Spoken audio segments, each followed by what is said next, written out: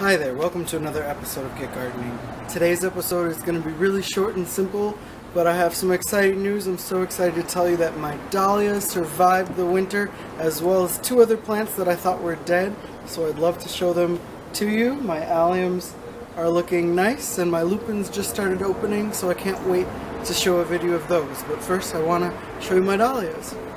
Okay, so here they are. I kid you not, they were in my basement all winter long. I thought that they were dead. Lizzie thought that they were dead too, didn't you? I put them outside because I was planning on just throwing them away, but I actually forgot to throw them away, and just yesterday I was heading to go start planting my tropical garden, and I decided to go throw them away, and lo and behold, I saw shoots coming. Need it to focus. There's some shoots on that one. This one, it's right there.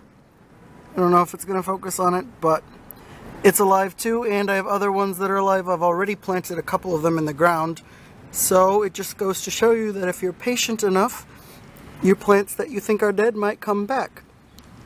Also, I had a banana tree that I was getting ready to dig up yesterday because I thought it was dead in the ground. I went to dig it up and of course I severed it in half and it was alive. So moral of the story is don't throw away your plants until you're 100% certain that they are dead. So that was just my dose of excitement that I had to share with you guys. If you've been following, you know that I love my dahlias and I thought that they were dead.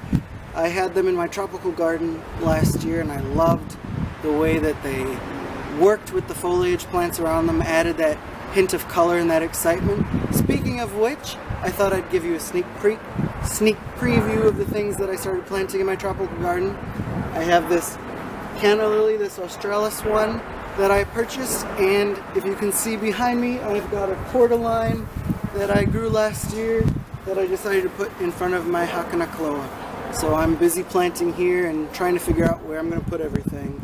So I hope it's just as beautiful by you as it is over here. Thank you guys so much for watching and until next time I hope you're able to get out there and get gardening.